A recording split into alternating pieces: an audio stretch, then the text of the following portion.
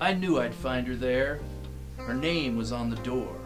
But if you ask me, that nameplate should have read trouble. I'll never forget where I was when he walked in my office. I was in my office.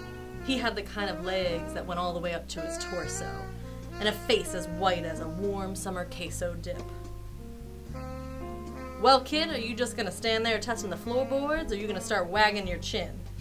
He then proceeds to spin a yarn about some stolen trophies, a woman in a red dress, a missing circus monkey. Some of that I may have made up because I wasn't really paying attention, but this kid had something you can't take to the bank a case. Alright, I'll stop you right there, kid. Maybe it's the glint in your eye or the 64 ounces of energy drink coursing through my veins, but I like the cut of your jib. Jib? What's a jib?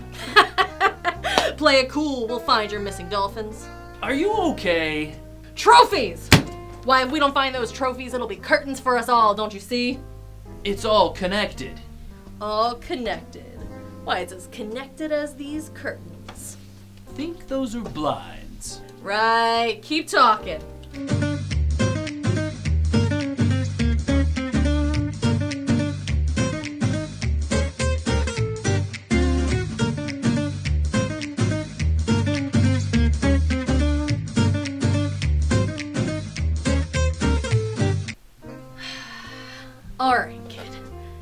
It has been an agonizing 20 minutes. All we've been able to find so far is this red herring, this Maltese falcon, and a sled with rosebud painted on it. Forget it, Jack. This is Hendrix. We're stranded in Nowheresville. We could, you know, investigate. Invest what? Investigate. You know, look around for clues or something. Clues.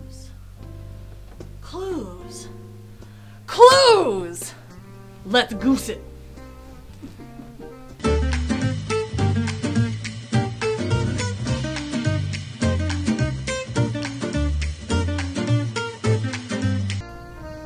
This is the location of a secret underground film club, if those trophies are anywhere. They're in here. This looks like the end of the line for this mystery, but the beginning of a beautiful friendship. Hmm.